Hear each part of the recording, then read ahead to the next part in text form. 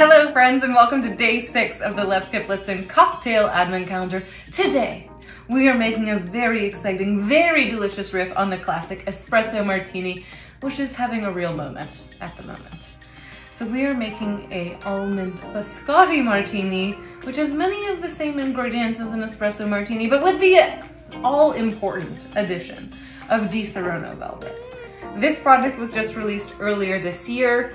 It is a cream liqueur with the same delicious notes you've come to know and love from the most popular Italian liqueur, Disaronno Amaretto. So you've got almonds, Madagascar vanilla, caramelized sugar, and then the cream base gives it a nice, long-lasting, velvety finish delicious on the rocks, and I want you to know that my mom has never been more proud of me than she is today because amaretto is her all-time favorite liqueur, and I remember when I was a kid, her enjoying a little nip of amaretto on the rocks over the holiday season. So I will be making my mom one or two of these this holiday season. I am her only daughter, but I would like to still be her favorite, nevertheless. So let's go ahead and get started. In addition to your Disaronno Velvet, which is also good for sipping because it's a lower ABV, just 17% alcohol by volume. So something that you can enjoy for a longer period of time if you so choose. You will also need Tia Maria cold brew liqueur. You will need cold brew coffee um, or espresso, vodka, nutmeg syrup, and three coffee beans to garnish. We are serving in a chilled coupe glass, and we will be shaking this cocktail, mes amis. That is what we will be doing today. Let's go ahead and get started, shall we? And if you haven't done so yet, make sure you get head over to today's post where I am co-hosting a giveaway with Disaronno for an espresso machine so that you can have espresso at a moment's notice to make your almond biscotti martini or a little perk up in the morning, whatever you want, whatever you want. An Ounce and a half of vodka into our shaker tin, three quarters of an ounce of our Di Velvet.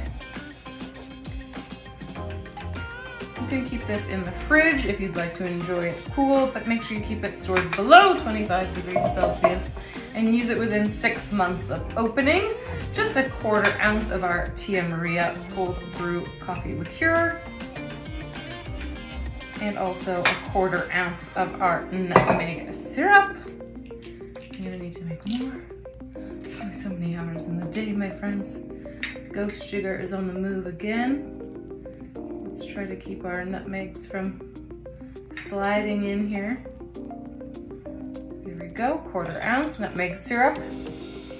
An ounce and a quarter of our, see look, it's floating, it's making moves oh, all on its own. Ounce and a quarter of our cold brew coffee or espresso. There we go. We're gonna give it a nice shake. Get it a little, get a little frothy in there. This is the wrong lid. That's why that's not working. Throw your ice in your shaker tin. Put on your best toothy grain and give it a good shake.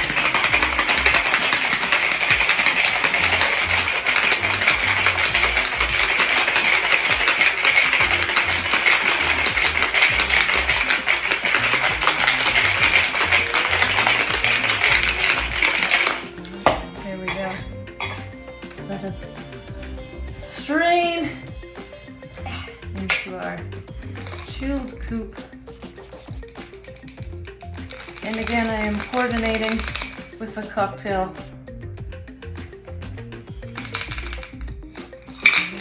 There we go. Our three, if I had tweezers and I was feeling fancy, I would go ahead and use my tweezers, but I'm drinking this. So I'm just gonna use my hands. This little three coffee bean garnish on our almond biscotti martini. You can pick up Disaronno Velvet at the LCBO. Cheers!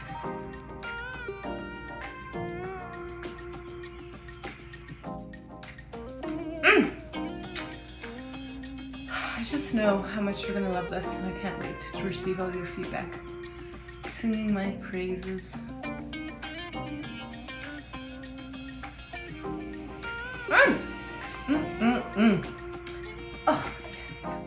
Thank you for joining me. Don't forget to head over to today's post and enter the giveaway to win an espresso machine. thanks to my good friends at Disaronno. Thank you for joining me, and I will see you tomorrow for day seven.